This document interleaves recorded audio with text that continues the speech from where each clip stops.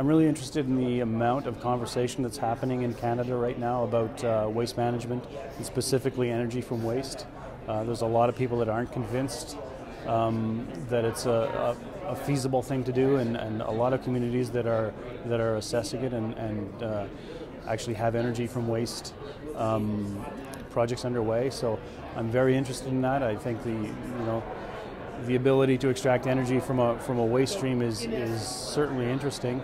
Whether or not it truly has a good sustainability proposition, I don't know. And a conference like this is an excellent way to uh, find out what people are saying about it. The City of Kingston has a has a pretty long relationship with the FCM, especially through their Green Municipal Fund.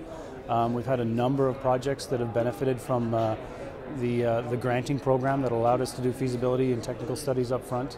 And uh, we also like to bring it to the attention of a lot of private developers who are involved with our, our brownfields program. That you know the, the, the GMF is there, um, and and it may be a good fit for their project too.